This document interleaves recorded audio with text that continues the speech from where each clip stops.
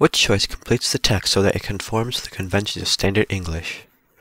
Gathering accurate data on water flow in the United States is challenging because of the country's millions of miles of blink. The volume and speed of water at any given location can vary drastically over time. So a key point here is that there are two coordinated noun phrases, the first being the country's millions of miles of waterways, and the second being and the fact.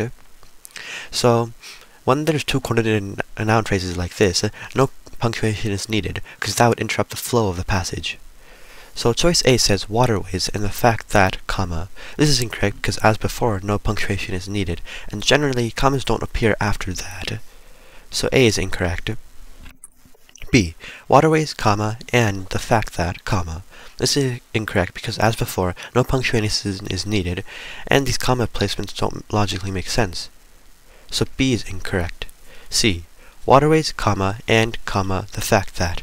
This is incorrect because the commas before and after and don't make sense, and that no punctuation is needed because it would interrupt the flow of the passage. So C is incorrect. D. Waterways and the fact that. No punctuation.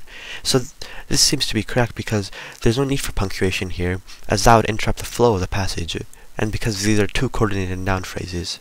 So D is the correct answer.